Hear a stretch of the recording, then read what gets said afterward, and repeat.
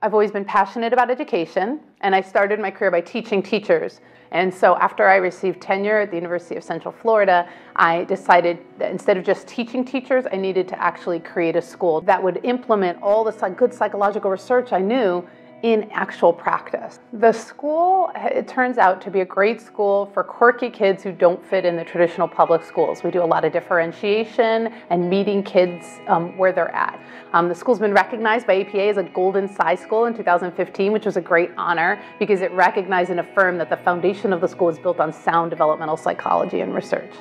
If you're thinking about volunteering and doing more service work, I'd start with what are your deep passions and interests? And where do your local communities have a deep hunger and need? And finding the intersection of that.